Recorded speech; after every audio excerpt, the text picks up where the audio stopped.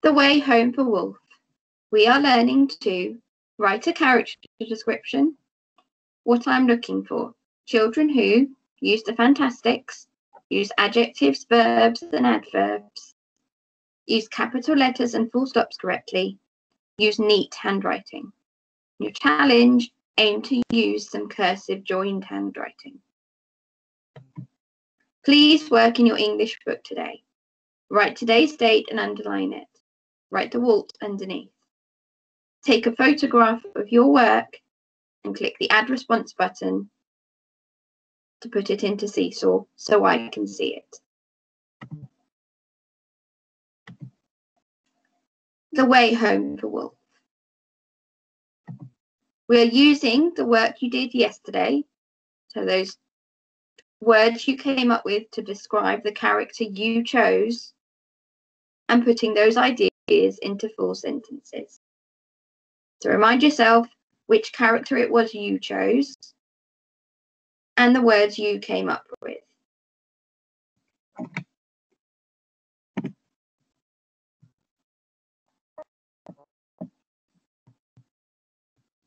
We're going to use the work from yesterday. We came up with descriptions of whichever animal you chose to describe to write it now in full sentences. So, I'm going to start my writing on here. What do I always need to start any sentence with? That's right, capital letter. Okay, so I'm going to start with a capital T, right, because I'm writing about the walrus, I'm going to say the walrus. You could start with the, whichever animal it is that you chose to write about. Obviously writing on a door, so bear with me. It's not quite a smooth surface. I'm going to do my very best with my handwriting. And I'm going to show you how to do your joins. Remember, so you can do your, start doing your joins, your cursive writing. The target for the end of year two, so you've got to start practicing now. Okay, so that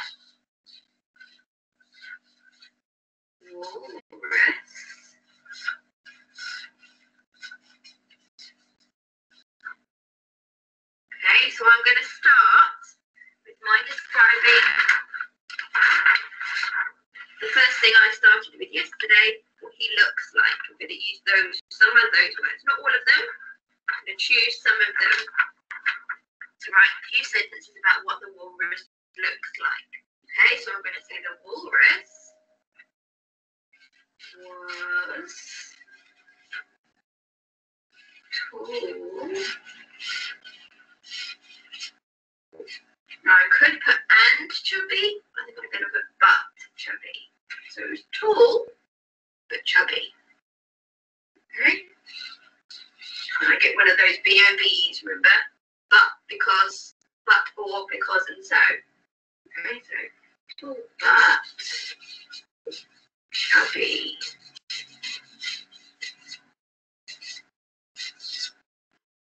that's the end of my first idea. The walrus was tall but chubby. So what needs to go at the end? Full stop. Now my next idea. Okay. I'm going to think I'm going to talk about his hairy whiskers. That was something else I came up with yesterday, he looked like. Okay. Instead of the walrus this time, I can use them because I know who I'm talking about now. Don't need to use the name of the animal. I can say he.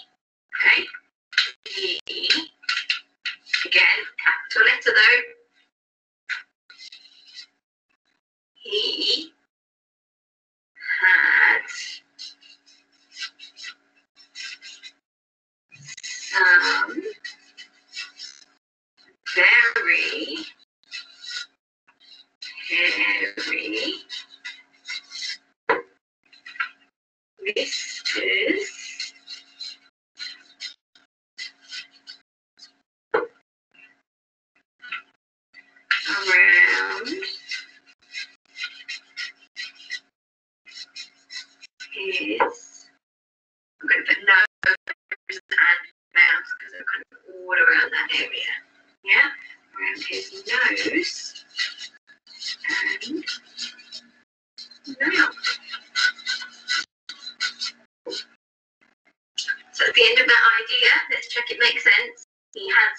some very hairy whiskers around his nose and mouth.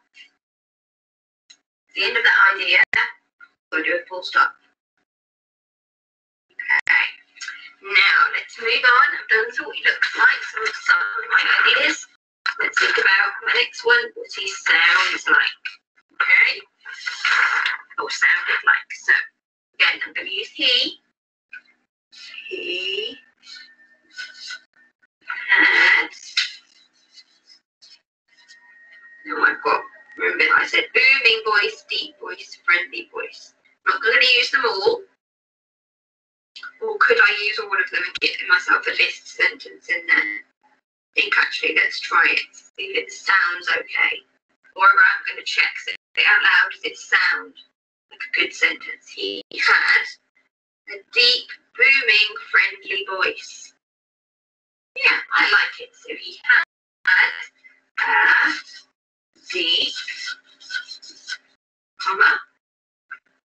booming,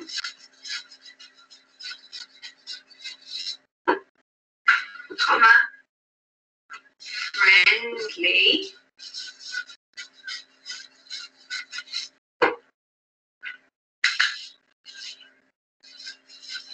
voice.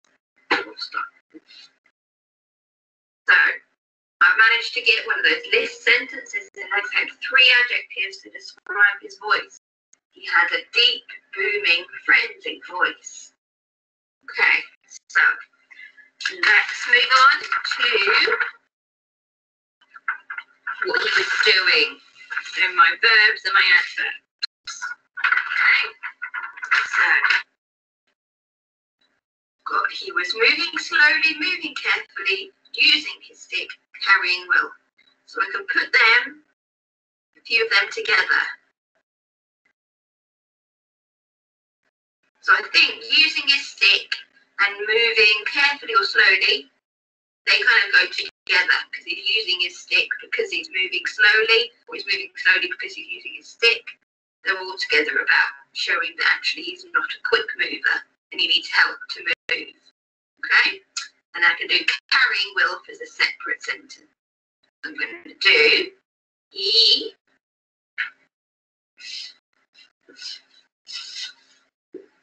was using a walking stick and moving slowly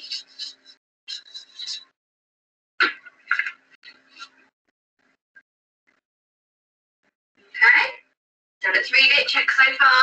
The walrus was tall but chubby. He had some very hairy whiskers around his nose and mouth. He had a deep, booming, friendly voice. He was using a walking stick, moving slowly. Okay. Um, I've got carrying there, but I could change it. Instead of having the ing suffix, I could do the ed suffix. Instead of he was carrying, he carried.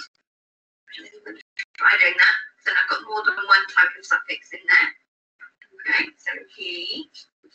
You can see I'm starting he a lot, so maybe on my next sentences after this, I'm going to think of a different way to start. Okay, so he carried Wilf. I can get my word carefully now. Thank you. Because Wilf was balancing on his head.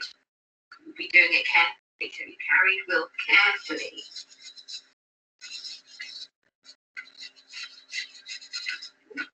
Come to a bump in the door, so yeah, it's a bit tricky to write now. He carried Wilf carefully across the could ice, snow, ice, Arctic. I'm going to put ice, obviously ice. Okay, stop. Okay, so last little bit is all to do with remember he smelled like that's the fantastic I chose. He smelled like. Okay. going to, think, think of another way of to start this sentence. And the smell, so the person who perhaps is going to notice the smell, or the character that's going to notice the smell most, would be Wilf. Okay, I don't know if the walrus would notice the smell of himself as much. Okay, so I'm going to say Wilf, and start that way. Wilf could smell, Wilf, Wilf thought he smelt. Okay, so capital again, because it's the start of my sentence, but also it's Wilf's name, isn't it? Wilf thought. Uh,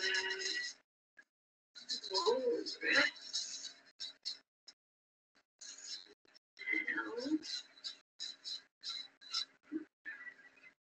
walrus smelled of what come up with?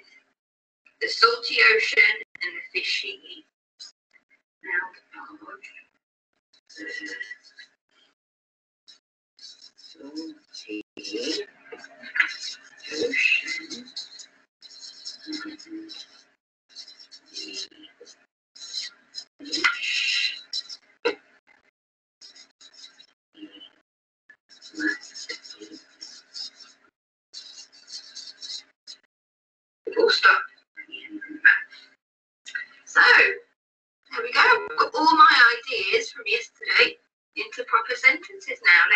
through. The walrus was tall but chubby. He had some very hairy whiskers around his nose and mouth. He had a deep, booming, friendly voice. He was using a walking stick and moving slowly. He carried Wilf carefully across the ice. Wilf thought the walrus smelled of the salty ocean and the fish he must eat. There we go. There is my character description of the walrus. Now see if you can put your ideas from yesterday into four sentences. Just write a character description of the animal you chose.